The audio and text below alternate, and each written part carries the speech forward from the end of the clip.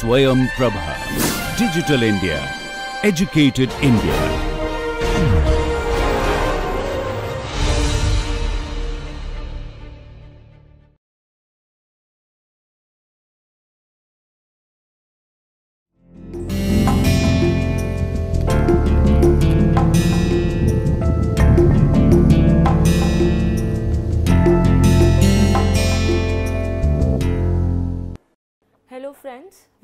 Welcome to Swayam Prabha. In our sixth session of the course Law of Contracts, we would be discussing the topic of free consent. This is the third C which we had which we were discussing in the previous sessions. Third C when it comes to the validity of a contract or essentials of a valid contract. The first two being capacity to contract as well as consideration to contract. Now, the topics to be covered in this session number 6 are definition of consent and free consent as given under the Indian Contract Act 1872, followed by coercion, its definition and comparison with English law, followed by undue influence, its definition, the concept of presumption of undue influence as well as unconscionable bargains. Then we will be proceeding to misrepresentation, its definition, fraud, its definition, then the distinction between fraud and misrepresentation. The last topic to be covered in this session is of mistake wherein definition, the definition of mistake as well as the two types of mistake as covered under the Indian Contract Act sections 20 to 22 would be discussed. To start with, section 10 of the Indian Contract Act declares free consent to be an essential requirement of valid contract. Before proceeding to the concept of free consent, we, we would first be discussing as to what consent is and how is it perceived under the legal provisions of Indian Contract Act. You can see on your screens section 13 of the act defines consent as two or more persons are said to consent when they agree upon same thing in the same sense. In our previous sessions we have discussed that whenever we say parties are acting in consent, mutual consent, they are agreeing on the same thing in the same sense, I had introduced a Latin maxim for it to you which I am again highlighting here to refresh your memories.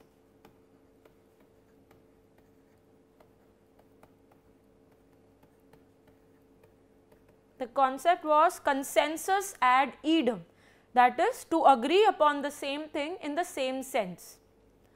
Now section 14 further provides for the concept of free consent as has been used or has has been mentioned under section 10.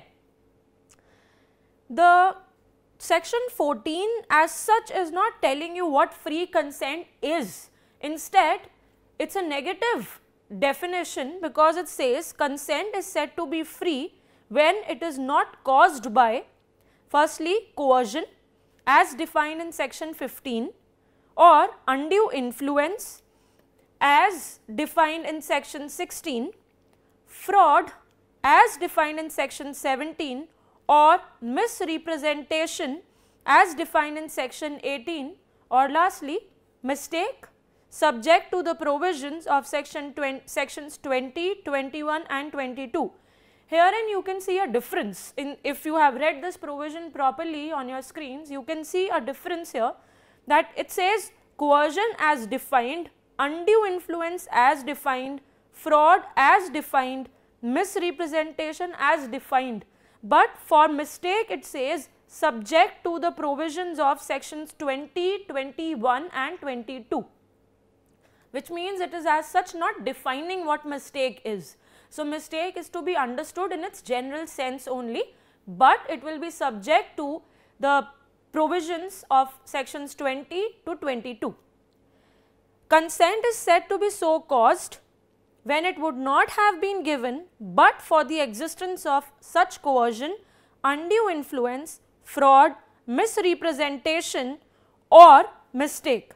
which means a person, a party would not have consented otherwise to enter into a contract if the consent would not have obtained, would not have been obtained by committing fraud, misrepresentation, coercion or undue influence or mistake. Sections 19 and 19A of the Indian Contract Act highlight that agreement is a contract voidable at option of other party whose consent was caused by coercion, fraud, misrepresentation or undue influence. In uh, later in this session, we would be going to the provisions of section 19 and 19A of the Indian Contract Act in detail because they are delving upon the point that if the consent is is obtained through fraud, coercion, misrepresentation, undue influence, that particular contract it will become void at the option of the party whose consent has not been freely obtained, freely given. I would again try to refresh your memories. In one of our previous sessions, we had discussed as to what do we mean by the concept of or the term voidable.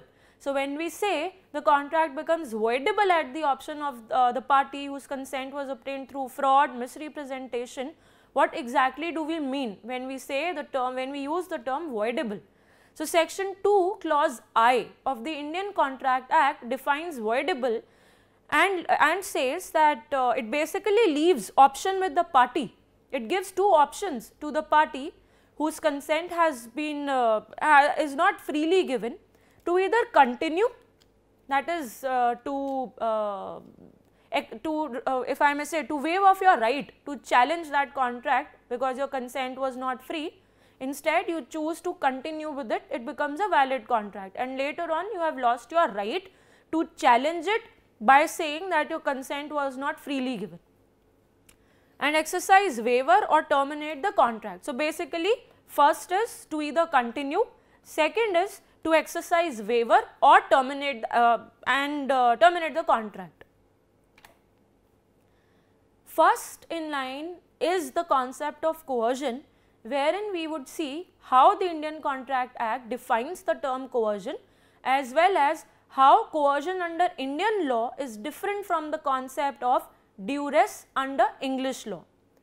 To start with, coercion as defined under the Indian Contract Act is the committing or threatening to commit any act forbidden by the Indian Penal Code. Yes, although the Contract Act still mentions the term Indian, the Act Indian Penal Code, but we all know that in 2023 we have got Bharatiya Nyay Sanhita or the unlawful detaining or threatening to detain any property to the prejudice of any person whatever with the intention of causing any person to enter into an agreement.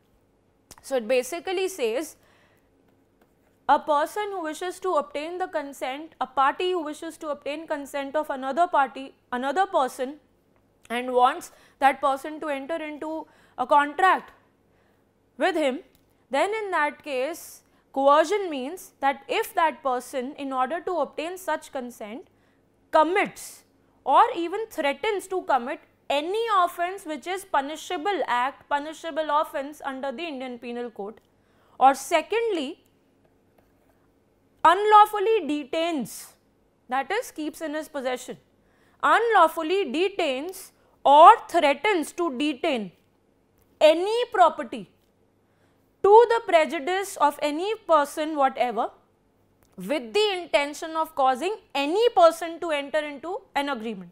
Now you will see, you are seeing here that it says any person, any person. So what is the significance of this any person? If we are talking about contract, we, uh, we should talk about two parties, one party or the other party. What do we mean by any person here? We would be getting to this point in uh, one of our later slides. The next thing which has uh, which is mentioned in the provision section 15 of uh, the Indian Contract Act is the explanation appended to the section. It says it is immaterial whether the Indian Penal Code is or is not in force in the place where the coercion is employed. Coercion is said to be exercised when consent is obtained by pressure which is exerted by as we just read in the definition stated under Indian Contract Act by committing or threatening to commit any act forbidden by Indian Penal Code or unlawfully detaining or threatening to detain any property. For your better understanding, you can see on your screen certain examples have been highlighted. So, if we go through them, consent obtained by threatening to kill by shooting pistol, by threatening to cause hurt to a person, by threatening to set a person's house on fire. All these examples are of coercion. Now, there is this uh, very highlighted judgment, you will see this judgment as uh, is mentioned here on the screen Chikham Amiraju versus Chikham Seshamma. You will come across this judgment many a times whichever textbook on law of contracts you will read, it is a very uh, important judgment of Madras High Court which came in 1918. So, in this judgment a person threatened to commit suicide if his wife and son refused to execute a release in favor of his brother with respect to certain properties which the wife and son claimed to be their own. Now, we just saw in the definition it says any act forbidden by the Indian Penal Code. If a person commits or threatens to commit any act forbidden by Indian Penal Code. Here in this judgment person was threatening to commit suicide. Now the question arose does this threat to commit suicide in order to obtain consent of his wife and his son did it amount to coercion? It was held that the threat of suicide did amount to coercion under section 15 and it was held that in this case uh, the coercion which was exercised by the husband on his wife and father on his son to get this release executed was voidable. Now the next part, second part of definition of coercion highlights detention of property. So one part was committing or threatening to commit any offence which is punishable or forbidden by law of the Indian under the Indian Penal Code. The second part highlights detention of property or threatening to detain any property. Now what do we mean by detain? I just told you detain means you and basically unlawfully detaining means that you do not have the right of possession over that property but you continue with the possession of that property against the interest of the person who should actually be in the possession of it. Now let us see an example has been highlighted here. So X pledged a piece of jewelry with Y for 30,000 rupees. So he pledged his piece of jewelry, gave it to Y and in return he got 30,000 rupees. Now when X goes to redeem it that is he goes to give back uh, to return the repay the amount which had been uh, which he had received which he had borrowed. In that situation the pledgee that is Y insists that an additional amount of 5000 was also owed by X to Y. That means 20,000 this 30,000 so you have to give because you had pledged your piece of jewelry with me now you are uh, and I had given you 30,000. So now you are if you want to get this piece of jewelry back apart from what you owe me in form of the amount which you had borrowed you also have to give this 5000 additional to me. At that point at that juncture in order to get that piece of jewelry back this person X he paid that additional amount but he later on sued Y in order to recover that amount. Now question arises will he succeed?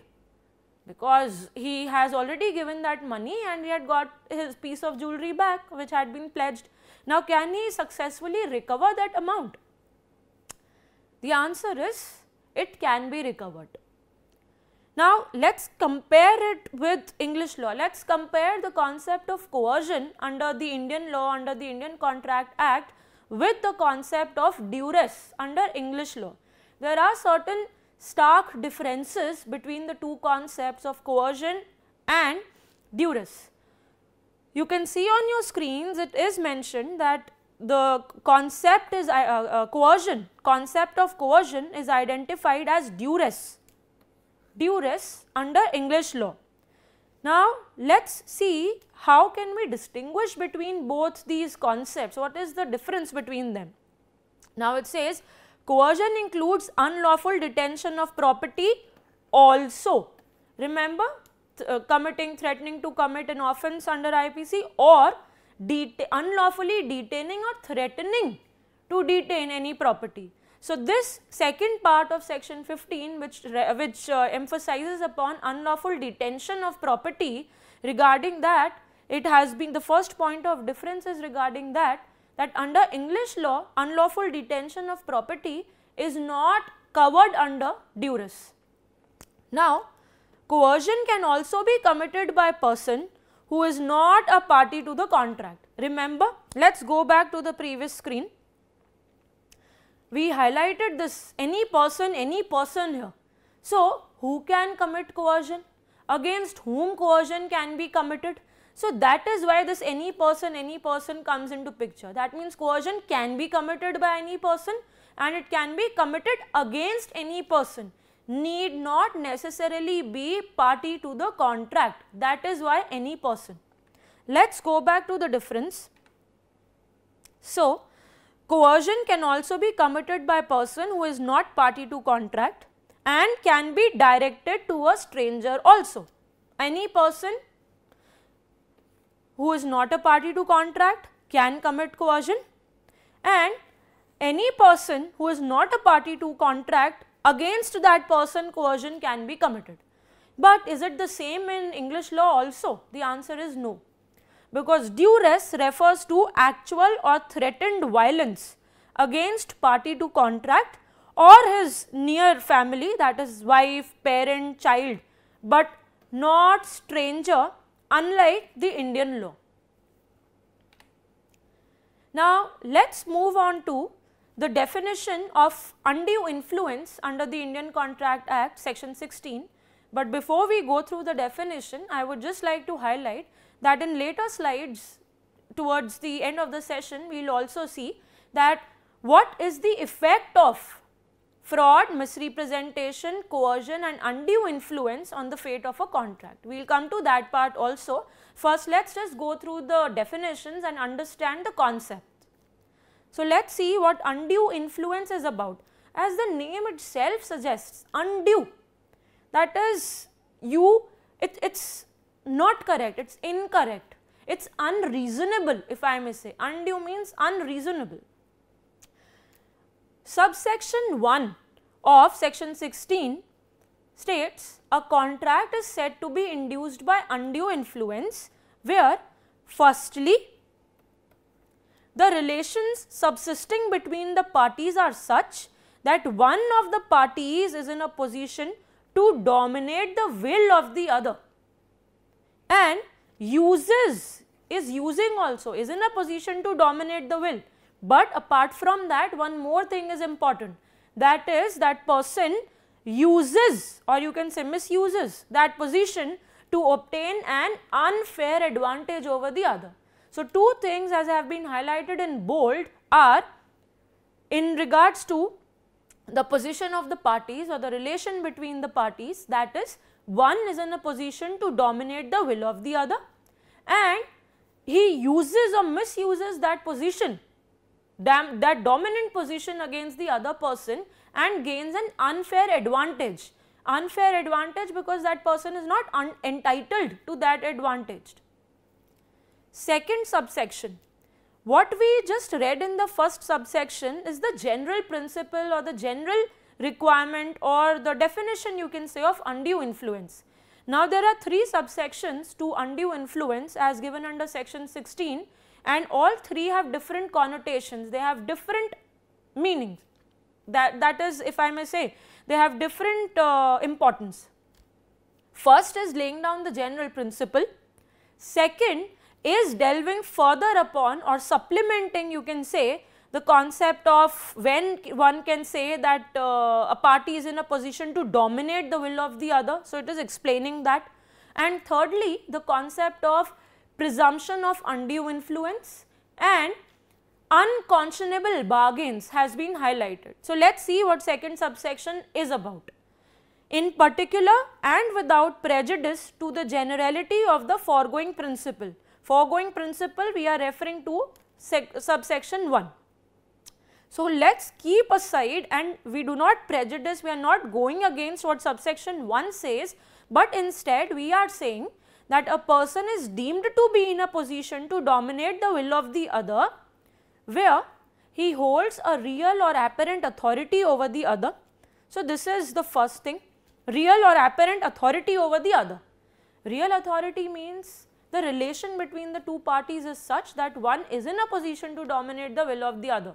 Parent child that is guardian ward right teacher student all th these relations are uh, employer employee master servant these relations are such wherein one is having a real authority over the other. Now what do we mean by apparent authority? Apparent authority means as such one is not in a position of authority over the other but he shows that authority or he acts under the color of that authority right. Second then is where he stands in a fiduciary relation to the other. Fiduciary means trust based. Doctor, patient, trustee, beneficiary, client, attorney, all these relations are coming under fiduciary relation. Now, second clause of subsection 2 to section 16 states that where he makes a contract with a person whose mental capacity is temporarily or permanently affected by reason of age, illness or mental or bodily distress. So, I know that the other party whom I am making to enter into a contract with me, that person's mental capacity is either temporarily or permanently affected due to age, illness or mental or bodily distress. Now, in one of the illustrations to section 16, you will see that it has been mentioned that a person who is uh, enfeebled uh, because of his age or because of some disease he is suffering from, he is being taken care of by a nurse, right? And that uh, by a medical attendant and that medical attendant exercises undue influence against that person who is enfeebled due to age, due to disease and, and transfers his entire property in the name of that medical attendant. So, that can be one of the examples which can be uh, covered here in the clause B. Now comes the most important or crucial we can say subsection to section 16 which is dealing with the concept of presumption of undue influence or unconscionable bargains. Let us see what it reads. It says where a person who is in a position to dominate the will of another enters into a contract with him and the transaction appears on the face of it. That is apparent. It is reflected on the face of it. This transaction uh, appears to be unconscionable. It appears to be unreasonable. It is not a bargain which a sane which a rational person would strike or on the evidence adduced to be unconscionable. The burden of proving that such contract was not induced by undue influence shall lie upon the person in a position to dominate the will of the other. It is an exceptional situation. In general we say if I am claiming that my consent has not been freely obtained, burden is on me because the Indian Evidence Act now the in, uh, Bharatiya Sakshya Adhiniyam 2023, they highlight that in the initial burden is on the person who is going to the court to in order to claim a relief to prove that his right has been affected, his right has been infringed or something wrong has happened. So, burden is on that person only. This is an exception to it. Herein, a person is saying that the other person has exercised his dominant position and has gained an unfair advantage over me. That is, he has exercised undue influence against me. So, herein the burden instead of being instead of being on me to prove that my consent was not freely obtained or it was affected by undue influence, the burden here is on the other person upon the person in a position to dominate the will of the other. Burden is on that person now. Why? Because we are presuming undue influence. It is such a transaction. That is why the term unconscionable bargain. No conscious person, no person who is conscious of his interest, no person who is conscious of his rights will ever strike that bargain. So, it is of such a nature that on the face of it or on preliminary evidence one can it, it's it's reflective that a normal rational person would not have entered into such bargain.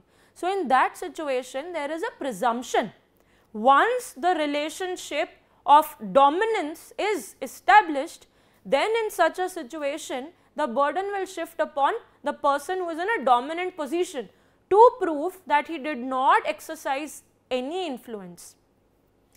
Now, the last part of section 16 states that nothing in this subsection that is subsection 3 shall affect the provisions of section 111 of the Indian Evidence Act 1872.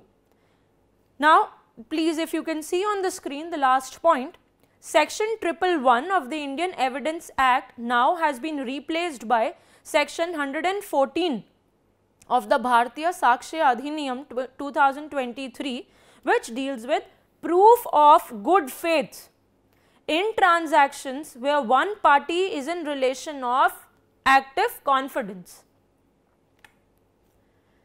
Moving on to the last part of uh, undue influence, presumption of undue influence or unconscionable bargains, there are two judgments you can see on your screen which I have highlighted.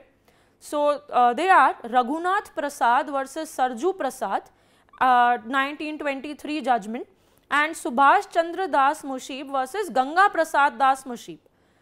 In Raghunath Prasad versus Sarju Prasad, their money, uh, they, they were uh, a father and son. So, they were joint owners of a very uh, big property and there was there was some issue which came up between both of them and father had initiated criminal proceedings against the son. So, in order to defend himself, he was in need of money, the son was in need of money and he approached money lenders and money was lent to him at a very at a high rate of interest in the sense that uh, the interest was to be compounded. First thing to be considered the court held. So, he uh, so that because of compound interest within a period of span of a decade the amount had exponentially increased. So, he approached the court and said that his consent was influenced by uh, this dominant, uh, this uh, consent was influenced by the money lenders and otherwise he would not have uh, entered into such kind of a transaction, right. So, basically his consent was not freely given. Now, the court said, first thing even if you are asserting, even if you are alleging that uh, there is the uh, uh, it is an unconscionable bargain or undue influence should be presumed. Even for presuming undue influence, first step or first requirement is to prove that there was the relation between the two parties was such that one was in a position to dominate the will of the other. That has to be proven. Thereafter one comes to the comes to the point of upon whom the burden lies. The court in that case held that presumption of undue influence was not present because mere, merely lending money at high rate of interest does not satisfy that undue influence has been exercised unless the relation between the parties uh, are of such a nature because there was no evidence which was submitted by the son in this case wherein he could have proven that the, the other party who lended him money was in a position to dominate his will, dominate his uh, uh, uh, consent. Next case mentioned here is Subhash Chandra Das Mushib versus Ganga Prasad Das Mushib. Now, in this case, a grandfather, he gifted a portion of his properties to his only grandson. So, this, this man, the grandfather here, he had two sons and from one of the sons, he has he had one son, he had one grandson. So, he was the only grandson which uh, the grandfather had. So, out of natural love and affection, he gifted a portion of his property to his only grandson. On this point, on this reason, the other son the son, I am not saying grandson, the other son that is if I may say for example to explain to you if A is the grandfather here, A is the father here, B is the first son, C is the second son, C, from C the grandfather has only one grandchild, grandson and B, B basically sued on the ground that the consent of his father was obtained through undue influence and uh, the transfer of property was uh, voidable and that it was family property and equal division of the property should be there that this grandson has no uh, if I may say he does not have a correct title over the property because consent was uh, not freely given. But the court said just because a grandfather is gifting a portion of his property to his only grandson, it does not mean that he that uh, the father of that uh, grandson or uh, the grandson himself have exercised any kind of undue influence. Let us move on to the next concept of fraud. Section 17 of the Indian Contract Act explains the concept of fraud or defines the concept of fraud. It states fraud means and includes any of the following acts committed by a party to a contract or with his connivance or by his agent with intent to deceive another party thereto or his agent or to induce him to enter into the contract. Basically, fraud is committed either by a party to contract or with his connivance or it has been committed by the agent of party to the contract. But why? What for? It has been committed with an intent that is intention to fool another party or make the other party believe in the existence of something which he knows is not true. The or to induce him to enter into the contract. Let us see what are the following acts which are being mentioned under section 17, this part. First is the suggestion as a fact of that which is not true by one who does not believe it to be true. That means I know what I am telling the other person is false. I know everything, but still I make the other person believe that it is correct. The active concealment of a fact by one having knowledge or belief of the fact. Active concealment means you are deliberately hiding some information from the other person which you are supposed to inform him a promise made without any intention of performing it. A promise made that A will marry B. A makes a promise to B that he would marry B and makes B have sexual intercourse with him, right. And thereafter, after having sexual intercourse, A refuses to marry B a promise made without any intention of performing it. That means at the time of making of the promise itself, this person A never intended to fulfill that promise. That is what we mean by when we say fraud. Any other act fitted to deceive. This is an open-ended thing because first three are giving us instances.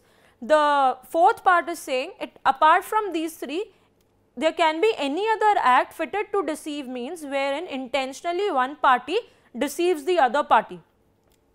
Any such act or omission as the law specially declares to be fraudulent. Now, essentials of fraud, there must be a representation and it must be false. We just saw in the previous slide in the provision. Representation must relate to material fact that is a relevant fact which may affect the judgment of the other person. Representation must have been made before the conclusion of the contract with intention of inducing other party to act on it. That means that at the time when you are trying to convince the other person to enter into a contract with you at that time itself you have an intention to deceive the other person and you do not wish to uh, either perform that promise which you are making or you are deceiving that person because you wish to gain some advantage over him. Other party must have been induced to act upon such representation. Other party must have relied upon such inducement and must have been deceived. The, these are very important aspects which have to be kept in mind. Just because I had an intention to deceive you does not mean that I have committed fraud. I had an intention to deceive you and because of that you believed in me, you acted upon whatever I told you and thereby I ended up committing fraud against you. So, this is very important that my, my misrepresentation which was intentionally done is the one which led you to take this decision. Let us discuss what misrepresentation is, then we can distinguish between fraud and misrepresentation. Now, misrepresentation of facts can be innocent in nature as well in contrast to fraud because we just saw in the definition of fraud that in case of fraud the misrepresentation is intentional because you are trying to deceive another person. Here in case of section 18 misrepresentation simpliciter we are saying that misrepresentation of facts can be innocent also, it can be negligent also. So, that is one of the points of distinction between fraud and misrepresentation that is how the consent is received right. So, in one due to misrepresentation uh, which is which can be innocent and in the other misrepresentation of facts which is intentionally done to deceive the other person. Section 18 misrepresentation means and includes firstly the positive assertion in a manner not warranted by the information of the person making it of that which is not true though he believes it to be true. So, herein we are trying to say that the person is acting in an innocent manner. He is misrepresenting facts to another person because he believes them to be true but he does not have any information which warrants that it is true. Although he trusts, he acts in good faith, he trusts that this is true. I think I should stand corrected. I won't say good faith because good faith means due care and caution uh, has been taken. But herein we are saying that the person is positively asserting something or, and because he believes it to be true, it may or may not be true. Second is any breach of duty which without an intent to deceive gains an advantage to the person committing it or any one claiming under him by misleading another to his prejudice or to the prejudice of any one claiming under him. So, basically what has to be highlighted here is the breach of duty. So, you have a duty, you had a duty to inform to the other person, but uh, you commit, you defaulted in that duty. It may be you, you, you acted in a negligent manner. It is not intentionally done. Please remember this thing because the moment I say you had a duty, you failed to perform that duty does not mean we are saying fraud has been committed deliberately person did not perform the duty. Here the breach of duty which we are referring to is negligence. We are not saying that it has been deliberately done. So, that is a point of distinction which you need to understand. Third is causing however innocently a party to an agreement to make a mistake as to the substance of the thing which, the, which is the subject of the agreement.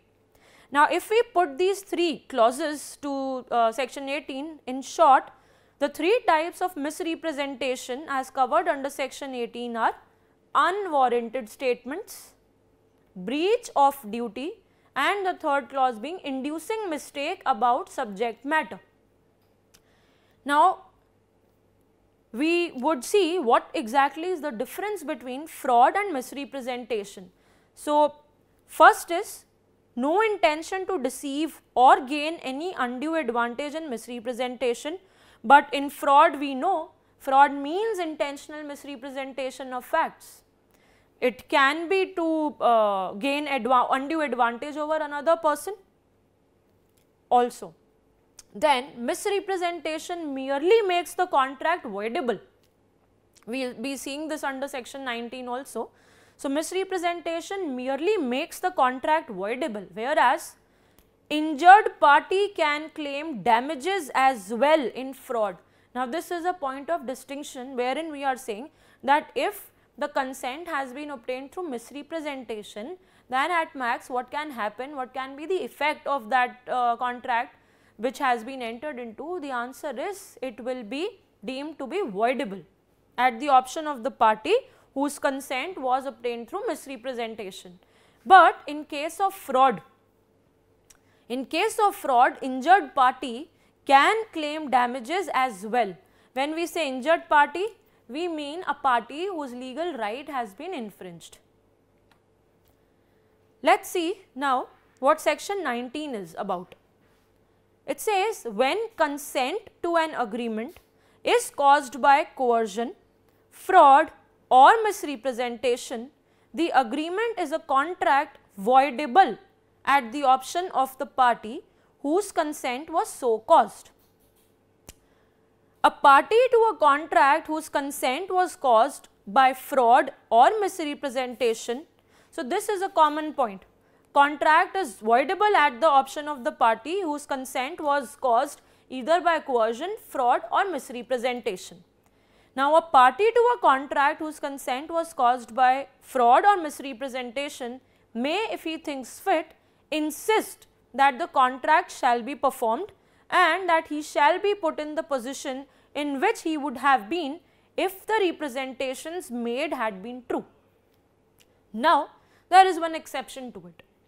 It says if such consent was caused by misrepresentation or by silence which is fraudulent within the meaning of section 17.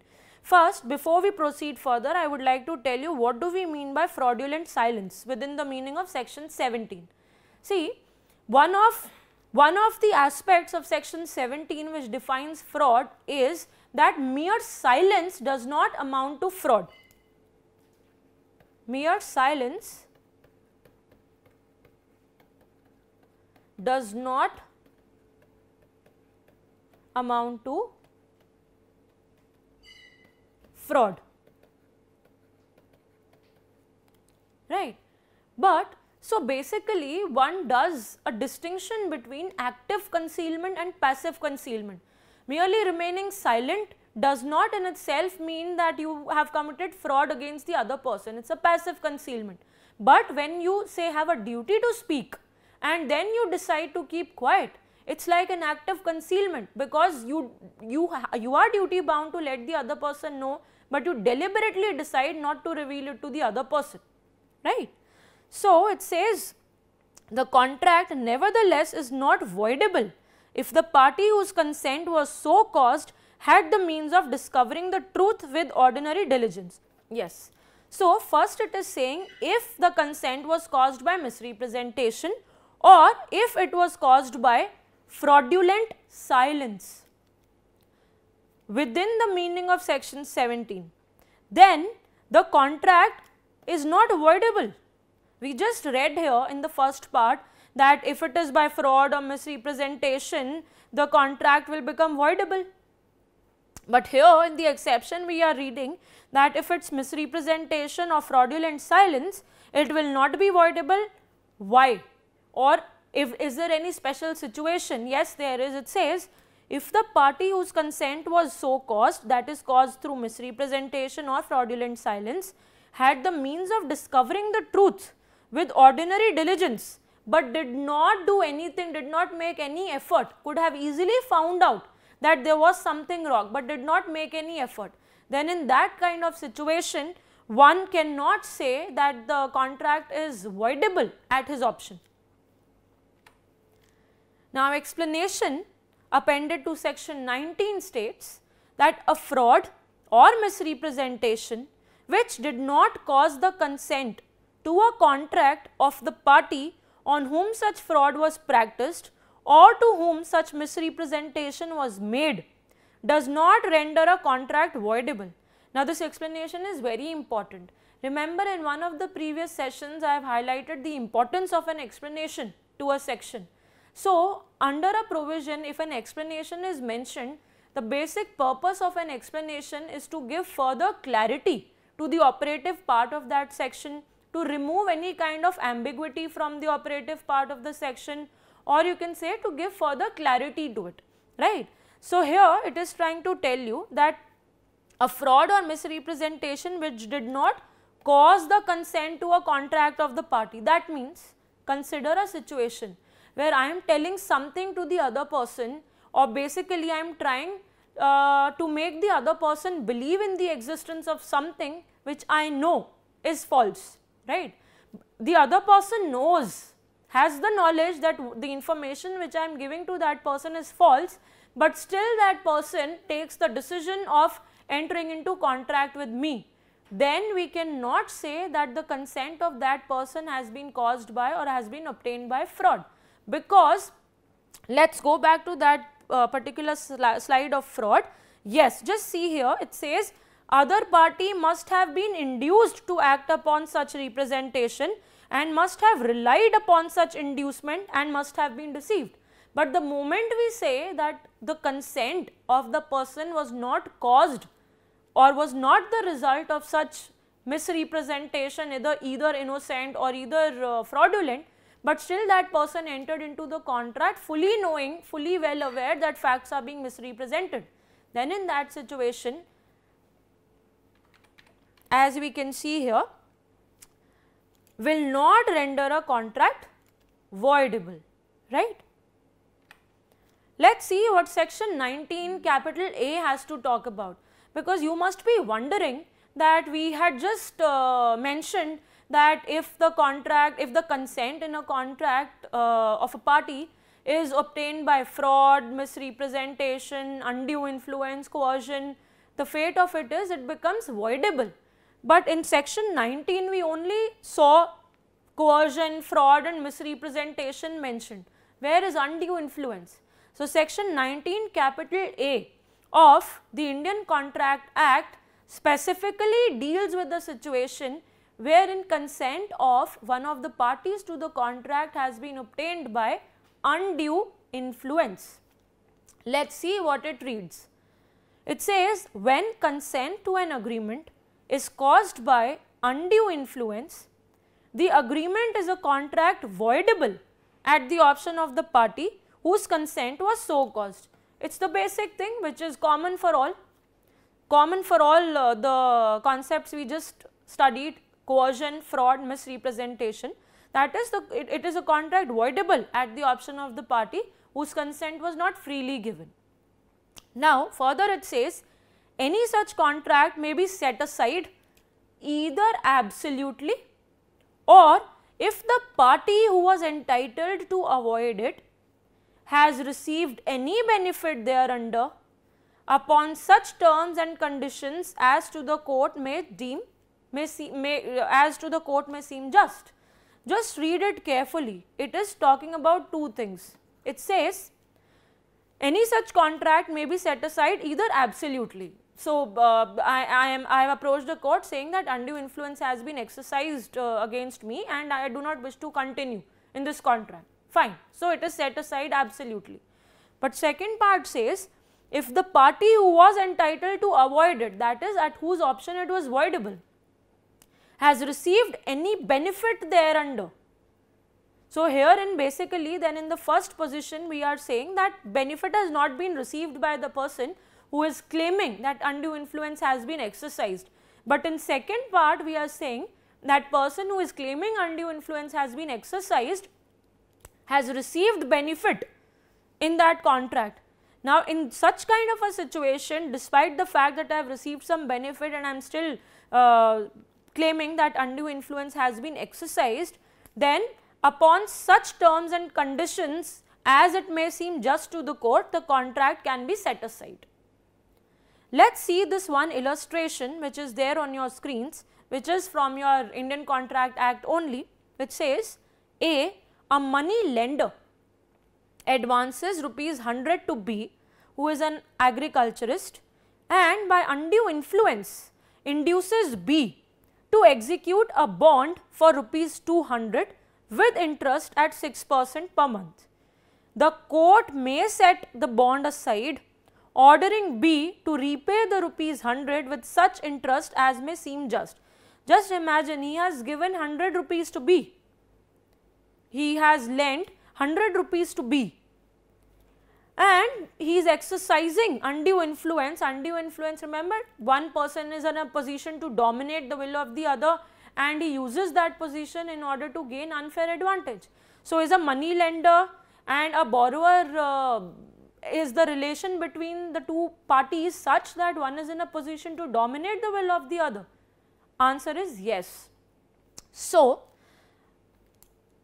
the court may set the bond aside because undue influence has been exercised and although rupees 100 has been had been advanced still A is inducing B to execute a bond for rupees 200 with interest that is double the amount which he had lent. Now, in this situation the court may set the bond aside ordering B to repay the rupees 100 which actually he had borrowed from A with such interest as may seem just as would be in uh, the interest of justice. Let us come to the last concept under free consent. So, till now we have covered coercion, we covered fraud, misrepresentation, we covered undue influence. Now, the last among the topics uh, of free consent is mistake.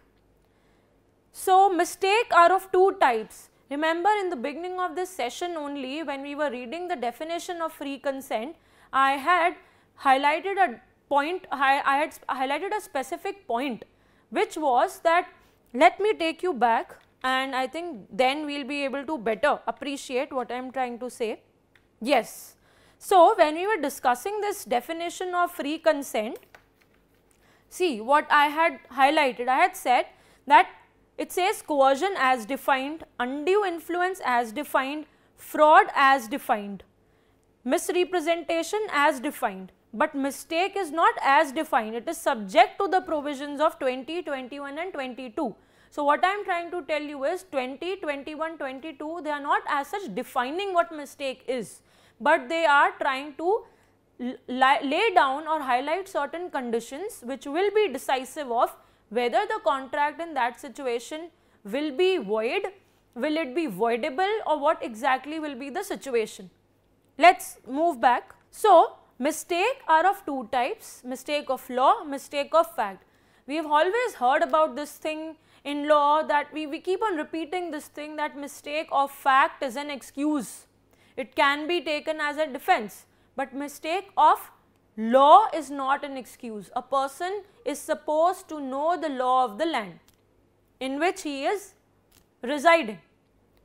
Now, section 20 of the Indian Contract Act highlights that an agreement is void where both parties are under mistake as to matter of fact. Wherein we say, I mean when we say both parties, we are trying to say that it is a bilateral mistake bilateral mistake.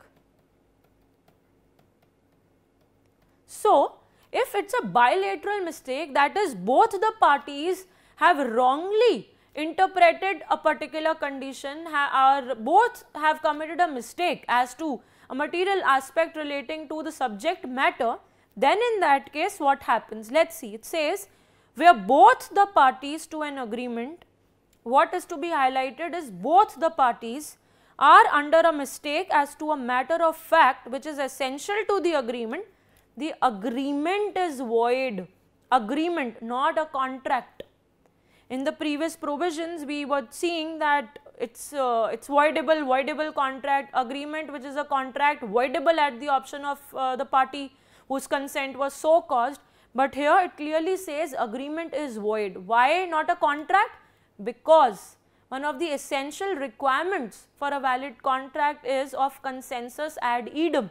But here both parties are mistaken as to a very important relevant fact related to the subject matter. There is a bilateral mistake which has been committed. Therefore, it renders the agreement void. A contract has never been formed. Why? Because there was no consensus ad idem. The explanation to section 20 states that an erroneous opinion as to the value of the thing which forms the subject matter of the agreement is not to be deemed a mistake as to matter of fact. So, we are saying if mistake even if bilateral mistake because this is an explanation to section 20 only which is obvious that here when we talk about mistake we are referring to a bilateral mistake only. So, it says an erroneous opinion as to value of the thing which forms subject matter of the agreement is not to be deemed a mistake as to a matter of fact. Let us move on to the uh, next provision under mistake that is section 21. In the section 20 we saw if there is a bilateral mistake then what will happen. So, bilateral mistake it is the agreement is void. Now, section 21 it talks about mistake of law. A contract is not voidable. It says a contract is not voidable. That means it is neither void nor voidable. So, it is not voidable because it was caused by a mistake as to any law in force in India. That means, if a point, if some uh, condition related to the law of the land in India, the two parties are mistaken, that is not considered to be uh, such a mistake which will render that uh, the, the contract between them to be void, Need, to be neither void nor voidable. But a mistake as to law not in force in India that is a foreign law, it will have the same effect as a mistake of fact that is if it is a bilateral mistake of a mistake in relation to foreign law then the agreement will become void. A and B make a contract grounded on the erroneous belief that a particular debt is barred by the Indian law of limitation. Contract is not voidable nor void agreement nor void, contract not voidable. The last provision contract caused by mistake of one party as to matter of fact. So, section 20 was dealing with bilateral mistake of fact which rendered agreement void. 21 dealt with mistake of Indian law which says it is not, it is neither void nor voidable. Then and uh, in case of foreign law the situation will be same as it was for mistake of fact. Then 22 is dealing with unilateral mistake of fact that is one party has uh, uh, mistook the fact whereas no, uh, the other party is clear. Then it says a contract is not voidable merely because it was caused by one of the parties to it being under a mistake as to a matter of fact. That means unilateral mistake will neither render the agreement void nor con voidable contract, right. So, that is uh, the that is the main thing which we have to understand. If it is mistake of fact bilateral, the agreement is void. But if we are talking about as in section 22, a mistake which is unilateral that is mistake on part of only one party, then it says a contract is not voidable. So, that is a point of distinction. So, ultimately we come to this conclusion that this is the reason there is uh, no inclusion of section, uh, uh no inclusion of uh, basically no inclusion of definition of mistake because mistake is understood as it is in general and is having connotations which we just studied under sections 20 to 22 dealing with mistake of fact bilateral, then dealing with mistake as to Indian law, the fate of it, then dealing with mistake of uh, foreign law, the fate of it and lastly under section 22 it deals with unilateral mistake of fact. But you just need to highlight one aspect, you need to understand one aspect that how important is interpretation of any provision, interpretation of any statute. In all other provisions it is very directly mentioned. The agreement is contract voidable at the option of the party or in case of section 20 you just saw agreement is void. But now here what we are seeing in section 21 and 22 is contract is not voidable, contract is not voidable. With this friends I end today's session. Thank you.